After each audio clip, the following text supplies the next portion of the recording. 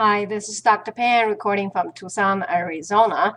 Hope life is treating you well on this beautiful Thursday afternoon. And thank you for watching this clip on expression and equations. And the questioner asked, how are they different? This actually is a really excellent question. Throughout your math career, if you come across this question, you are way ahead of uh, rest of the peers. It turned out the difference between expression and equation is actually is in this seemingly harmless thing we call equal sign. Lower it a little bit. Let's start with something that we all know. Okay, 7x equal to 5. Those are called equations. They do have a variable and this equal sign saying mystery. Solve the mystery. If 7 times what mystery number is equal to 5?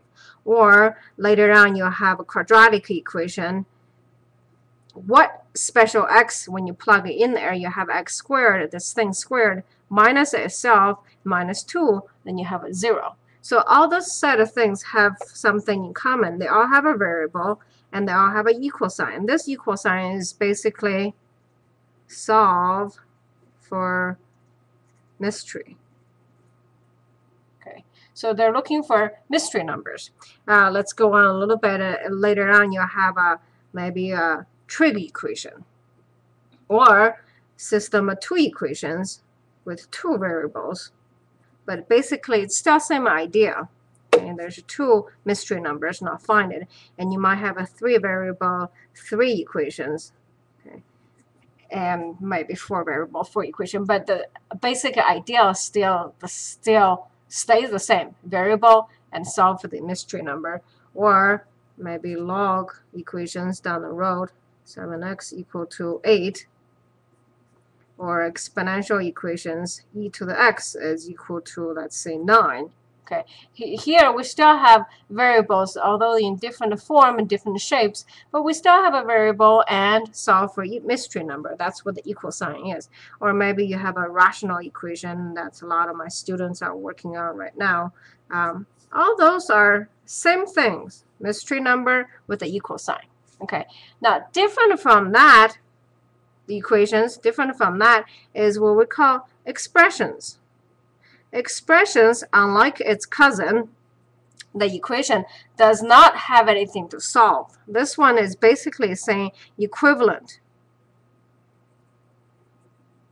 So when we have radical 18, let's say plus radical 2, this equal sign is quite different from this equal sign. This equal sign says simplify it. Okay, so if we were to simplify this one, we have radical 2 times 9 plus radical 2. Since we can simplify radical 2 times 9 into 3, because 3 squared is 9, plus radical 2, this one becomes 4 radical 2. Now, all those equal signs are for expressions. We're literally doing nothing to solve other than simplify. What's equivalent to it? Or another thing, maybe x squared plus 7x plus 5x squared. Okay, there's nothing to solve because there's no equal sign not equal to a number. We're just going to gather the like terms, which is 6x squared plus 7x. Okay, this equal sign, again, is equivalent, which is quite different from this equal sign. This equal sign says 2 to the mystery number, e to the mystery number is equal to 9. Now find me the, the mystery number. That's what the equations are.